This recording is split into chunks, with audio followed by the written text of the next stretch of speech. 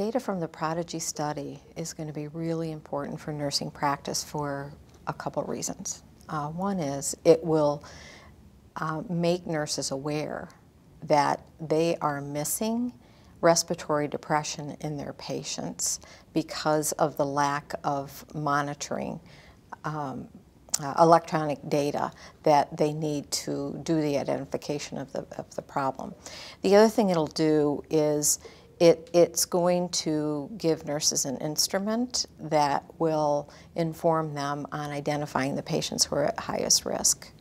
And thirdly, it is going to give hospitals the evidence that they need to justify uh, putting uh, continuous monitoring devices into the budget. A lot of healthcare providers are concerned about adoption of continuous technology in lower acuity settings such as general wards. If done correctly, the nursing staff can really find this to be a useful tool to help them care for patients.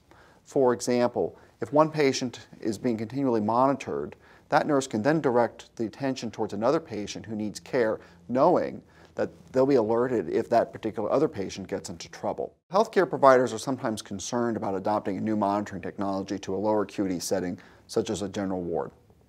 Continuing monitoring, if done correctly and integrated into the workflow of the, of the healthcare providing team, can actually free up nurses to do other tasks. For example, if a patient is being monitored for respiratory depression, that nurse can then direct the attention towards another patient who might need complex nursing care, knowing that if that particular patient gets in trouble, he'll be alerted to, to help that patient.